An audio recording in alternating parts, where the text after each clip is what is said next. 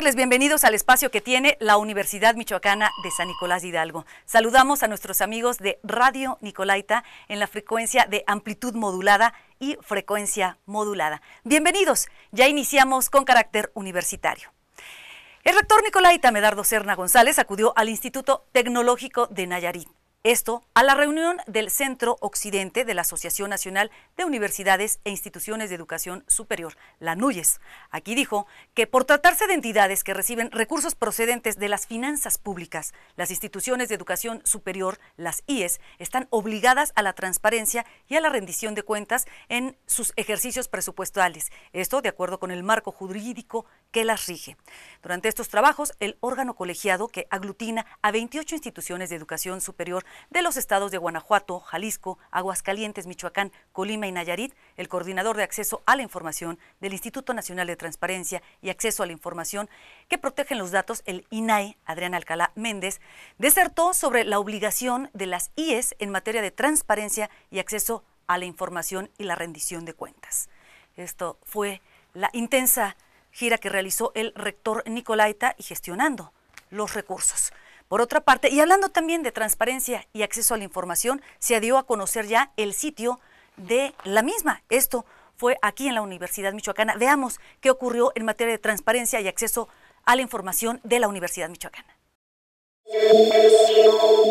El titular de la Coordinación de Transparencia Universitaria, Juan Carlos Gómez, presentó ante la comunidad nicolaita el nuevo sitio donde se podrá conocer la información de todas las dependencias universitarias y que estas mismas enriquezan al nuevo sitio web y se ajusta a la normativa vigente. Al hacer uso de la voz, el rector Medardo Serna González dijo que esta página señala la ocupación y preocupación por mostrar cómo trabaja la universidad, misma que cumple con las 48 obligaciones generales y nueve específicas detalladas en las disposiciones para las instituciones de educación superior en México por la Ley de Transparencia, y la Casa de Hidalgo se coloca como la primera institución en cumplir con la norma. Sabemos que somos de las primeras instituciones que están contempladas en el marco de esta nueva ley de acceso a la información pública que está presentando ya su plataforma. Es un avance importante, pero este tema es de todos los días. No hay que bajar la guardia, Juan Carlos. Hay que seguir trabajando, hay que seguir cumpliendo con los requerimientos, hay que seguir... Eh,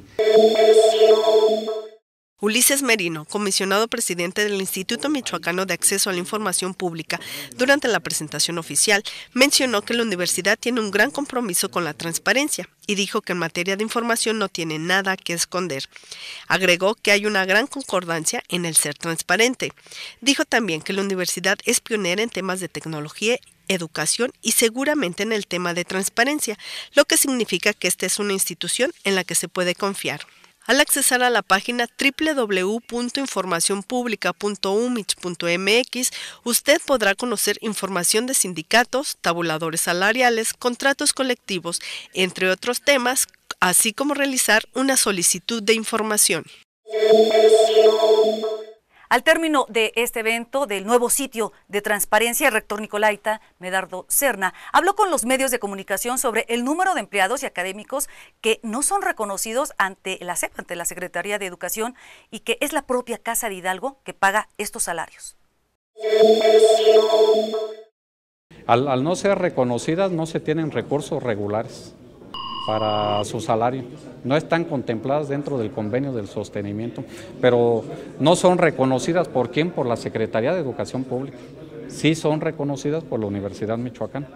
Por eso, por eso pagamos el salario de ellos. Es importante hacer la diferencia. ¿Cuánto es el salario de estas 900? Estamos hablando de al año casi 200 millones de pesos. Medardo Serna, rector Nicolaita, propuso la creación de la red de derechos humanos de las instituciones de educación superior aquí en el estado de Michoacán, desde las cuales aseguró mucho se puede aportar para el fortalecimiento del tema. Dijo que desde las universidades se puede cambiar la realidad de cada momento en el que se vive en la sociedad actual, caminando hacia una cultura de paz. Así lo mencionó el rector Nicolaita.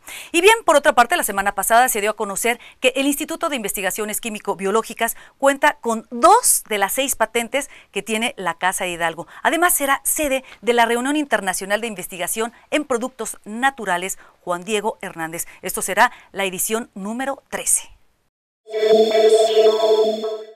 El Instituto de Investigaciones Químico-Biológicas de la Universidad Michoacana será coordinador y sede de la decimotercera reunión internacional de investigación en productos naturales Juan Diego Hernández Hernández, en colaboración con la Asociación Mexicana de Investigación en Productos Naturales, AMIPRONAT, para lo cual se firmó un convenio entre ambas instituciones.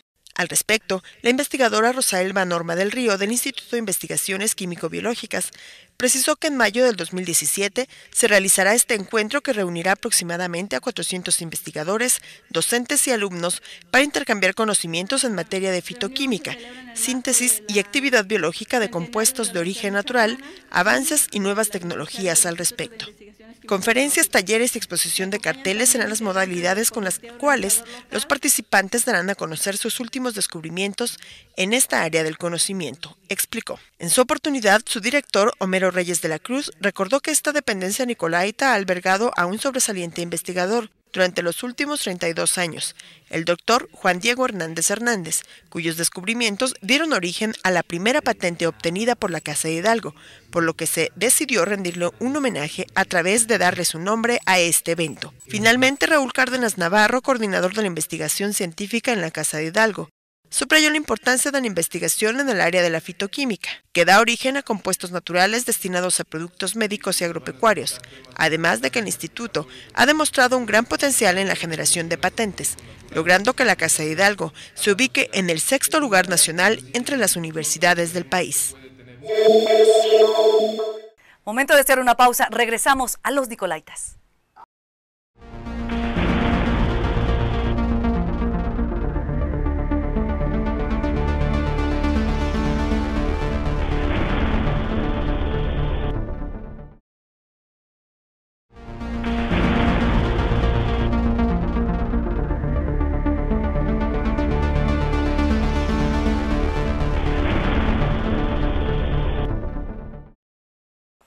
Otra parte, les comento que dos alumnos nicolaitas de la Facultad de Ingeniería Civil obtienen los primeros lugares en las categorías de exposición.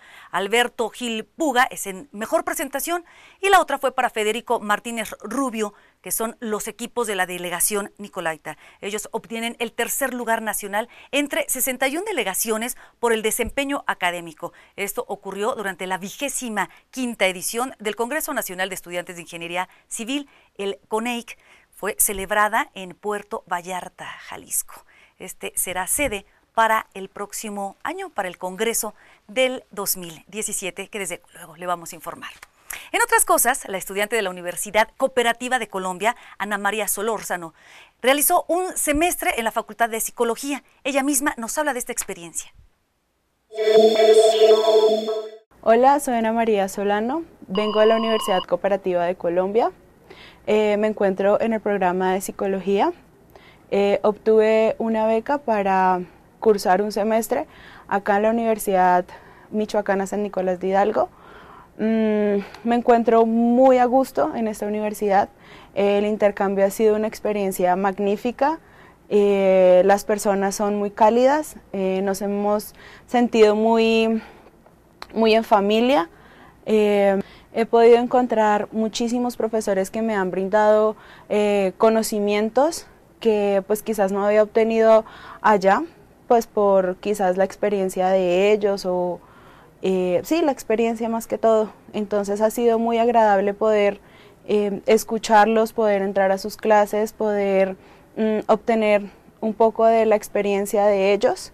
Asimismo, mis compañeros han sido de mucho apoyo, me han también abiertos pues sus conocimientos y han puesto a disposición de mí eh, todo lo que ellos han aprendido a lo largo de estos semestres. Y me encuentro muy muy a gusto acá, ha sido una experiencia fantástica y los invito a todos que si pueden hacer este tipo de intercambio de movilidad, que se arriesguen, sí da un poco de miedo al inicio, pero ya después eh, se va dando uno cuenta que es una magnífica experiencia y que vale la pena tomar este riesgo.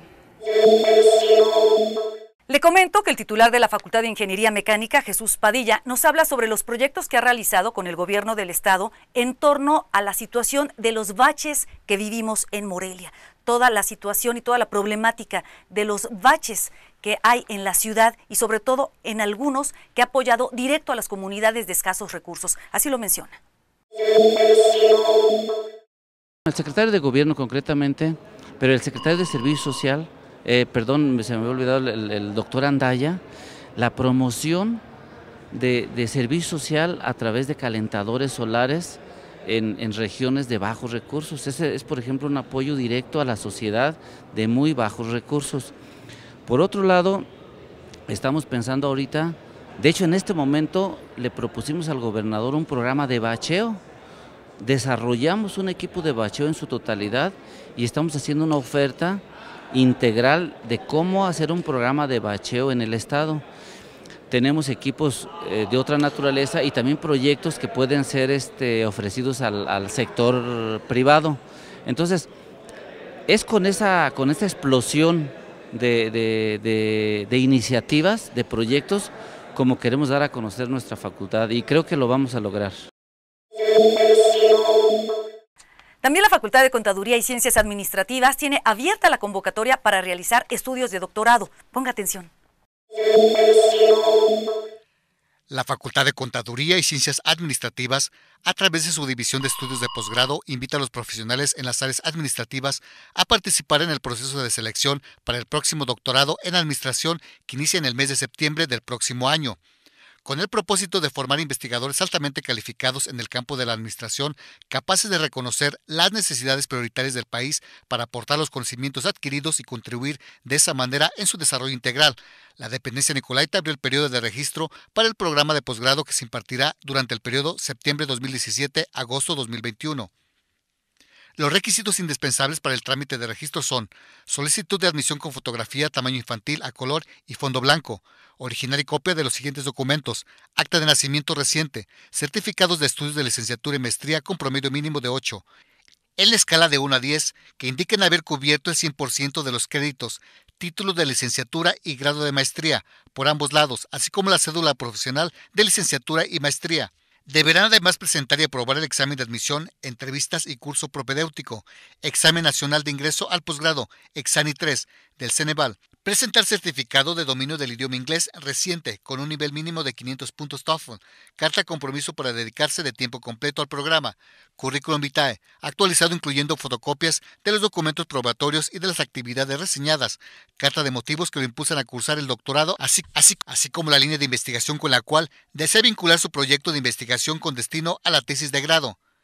Asimismo, presentará protocolo de investigación orientado a la tesis de grado, tres cartas de recomendación de doctores investigadores, examen médico reciente expedido por los organismos públicos de salud y carta de apoyo de la familia. La recepción de documentos permanecerá abierta hasta el 15 de febrero de 2017. El examen de admisión se aplicará el 17 de febrero, donde se elegirá a los aspirantes para el curso propedéutico que se llevará a cabo del 1 de marzo al 7 de julio, para dar inicio con el primer semestre el 1 de septiembre de 2017.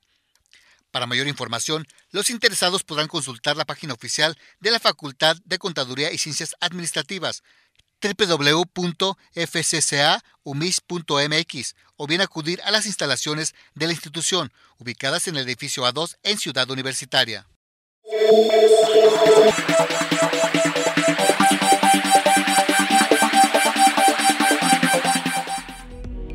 Llegamos a la agenda cultural, con eventos que la Universidad Michoacana ha preparado para que disfruten compañía de su familia así que tomen lápiz y papel.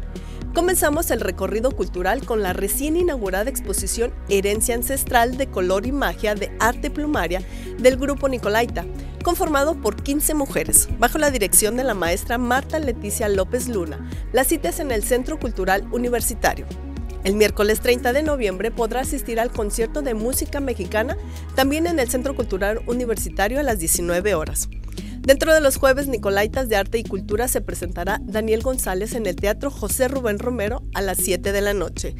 Le continuamos recordando que el ex convento de Tiripetío tiene abierta la convocatoria del tercer salón de invierno, donde se propone dar a conocer y difundir la producción artística del ámbito local, estatal y nacional. Para mayores informes comuníquese al teléfono 344-4200, al correo museografiatiri.gmail.com o al mismo ex convento que se ubica en Fray Alonso de la Veracruz 290 en Tiripeteo, a 20 minutos de Morelia. Ya está usted informado de las actividades que tiene la Casa de Hidalgo y que son con entrada totalmente gratuita. Hasta la próxima Agenda Cultural, soy Yuri Servín.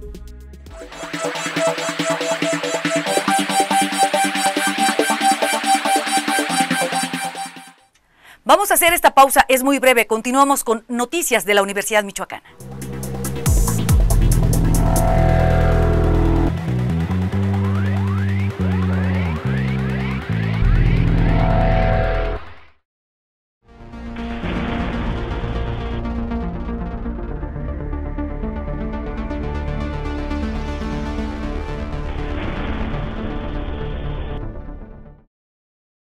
También en el país de Finlandia se lanza la convocatoria para realizar doctorados, esto en varias áreas de investigación. La Universidad Michoacana de San Nicolás de Hidalgo, a través del Departamento de Vinculación y Desarrollo, invita a egresados de maestría a realizar sus trámites de registro para participar en el proceso de selección de becas para estudios de doctorado que ofrece el gobierno de Finlandia. El programa está abierto para jóvenes investigadores de todas las áreas académicas que cuenten con nivel de maestría terminado y estén interesados en realizar una estancia de estudios doctorales en el país europeo. El apoyo de la beca consiste en una asignación mensual equivalente a 1.500 euros para un periodo de estudios de investigación de 3 a 9 meses como máximo, iniciando durante los meses de agosto o septiembre. Los postulantes seleccionados tendrán la oportunidad de participar en un proyecto de investigación de alguna universidad o instituto de investigación pública en Finlandia con estudios de doctorado.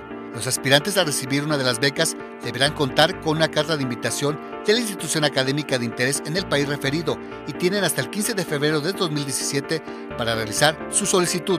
Para mayor información sobre las bases de la convocatoria, acudir al Departamento de Vinculación y Desarrollo ubicado en la planta baja de Ciudad Universitaria o bien llamar a los teléfonos 443 316 8809 y 322 3025, extensión 2027.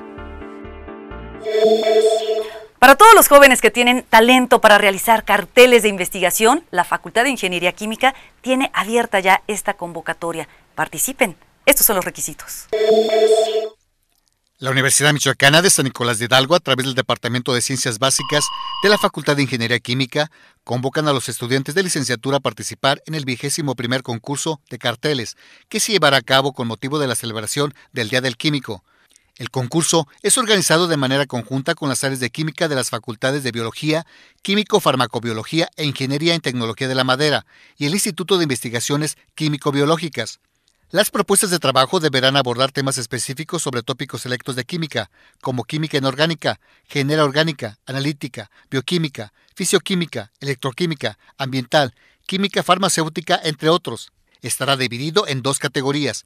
La categoría A, que incluye carteles cuya temática está basada en una investigación teórica básica para alumnos de primero a tercer grado o primero a sexto semestre, y una categoría B, que incluirá carteles con temáticas que contengan trabajos de investigación teórica, experimental, prototipos y modelos para alumnos de cuarto, quinto grado o séptimo a décimo semestre.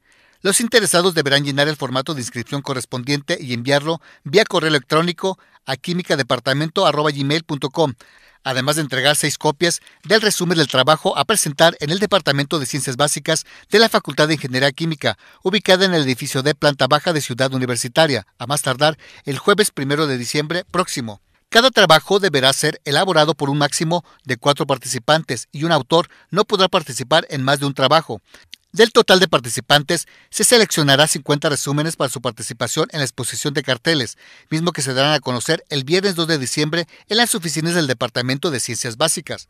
La sesión de presentación de los carteles se realizará en el edificio E de Ciudad Universitaria el día jueves 8 de diciembre de 10 a 13.30 horas donde un representante hará una exposición oral de cinco minutos del trabajo presentado. El jurado calificador estará integrado por académicos y autoridades en el área de química, quienes premiarán a los tres mejores trabajos. Para informes e inscripciones, los interesados deberán acudir al Departamento de Ciencias Básicas, ubicada en la planta baja del edificio D en Ciudad Universitaria. Teléfono 326-0284, en horario de 8 a 15 horas en la Facultad de Biología, en la planta baja del edificio R. La Facultad en Tecnología de la Madera en la planta A del edificio D y el Instituto de Químico Biológicas en el edificio B1, así como la Facultad de Químico Farmacobiología. La semana pasada estuvieron de aniversario dos dependencias nicolaitas. La primera de ellas es la Facultad de Historia y la otra fue la preparatoria Melchor Ocampo. Así lo festejaron. Preparar a la Universidad Michoacana para los próximos 100 años dejando bases sólidas con una educación pública de calidad es el reto en la máxima casa de estudios de la entidad Así lo señaló el secretario general de la Casa de Hidalgo, Salvador García Espinosa, durante la ceremonia por el 38 aniversario de la Escuela Preparatoria Melchor Ocampo. Durante su intervención destacó la unidad que existe en el bachillerato Nicolaita, algo que permite refrendar el espíritu de la Casa de Hidalgo, dijo. Por su parte, la directora de la Escuela Preparatoria Melchor Ocampo, Irmelena Lozano González, reconoció el compromiso del personal de la institución que con su trabajo contribuye en la formación de mejores jóvenes que representan el futuro del país. Paralelamente se conmemoró el 43 aniversario de la Facultad de Historia, donde el secretario administrativo Oriel Gómez Mendoza, en representación del rector Nicolaita Medardo Serna González, reconoció esta facultad como una institución en crecimiento, en donde por sus acreditaciones e infraestructura se coloca entre las mejores del continente. Manifestó que el valor de las ciencias históricas radica en el poder de crítica, el conocer el pasado para afrontar el presente, reconocerlo con una visión abierta desde muchas miradas, por lo que auguró para la facultad mayores estadios de consolidación en los próximos años. Llegamos a 100 años, 100 momentos. Le presento a continuación a Israel Hernández. Él nos cuenta sobre Ignacio Chávez, cómo pronuncia un brindis de honor cuando se retira de su cargo y pide una renovación constante por la perenne renovación de ideas por el bien de la universidad.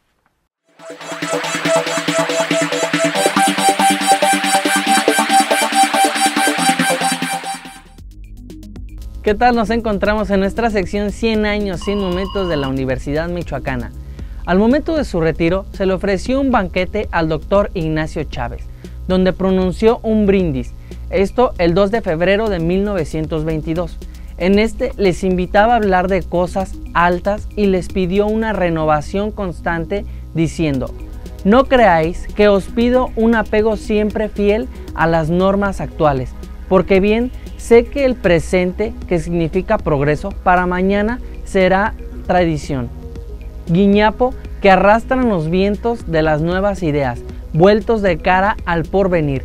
Brindemos por lo que habrá de hacerse, brindemos por la perenne renovación de ideas en el seno de la universidad. Recordó los 15 meses de trabajo intenso, de lucha violenta, apasionada y como causa de esa intensa actividad rompimos los viejos moldes y forjamos los nuestros, los que fueron capullo y no cárcel para el pensamiento. Se advierte que el doctor Chávez se identificó con los estudiantes y que en su rectorado fue obra de juventud. Nos despedimos, hasta la próxima.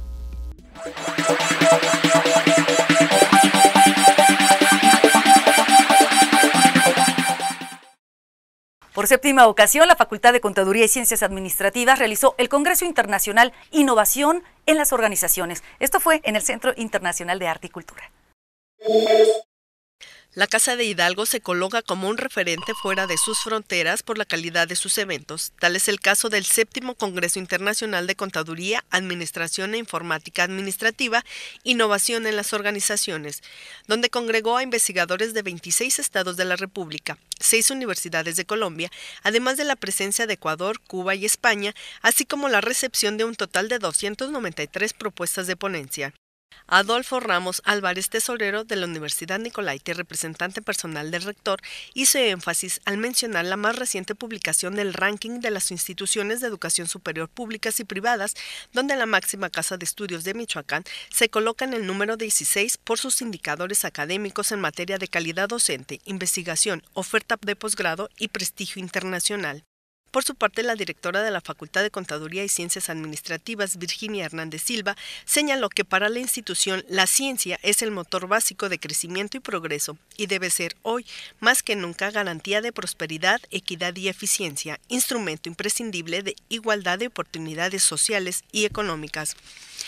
En este momento de dificultades, dijo, la apuesta por la investigación y el conocimiento es la mejor estrategia posible para afianzar un modelo de desarrollo económico-social sostenible y en ese sentido la Universidad Michoacana debe ser generadora de elementos que contribuyan a la formación integral del estudiante y profesionista, que posea la capacidad y herramientas necesarias para desempeñarse de manera competitiva en el ámbito laboral, empresarial, público o académico.